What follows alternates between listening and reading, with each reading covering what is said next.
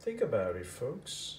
Every time you come to eat an egg, a free range egg, particularly, look at where it's coming from. The hen who freely roams around produce an egg like this. The hen are also picking on whatever they can as they roam around freely. And most definitely they'll be picking worms, insects, and they'll be going around just eating to produce their body, their feathers, their beak.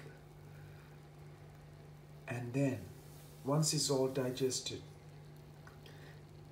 what comes out is the waste products. That waste products goes back to the earth.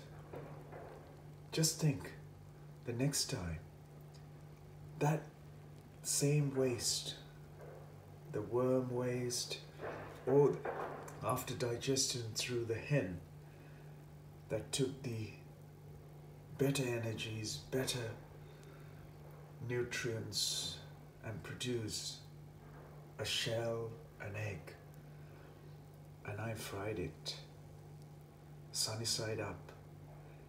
And that same waste is then goes to the earth, and who eats it? The worms, insects feed on them, and then it breaks down as part of a biodegradable waste product and goes back to earth. What a beautiful cycle of composting and feeding. Life. How powerful is this cycle on earth? A free range egg laid by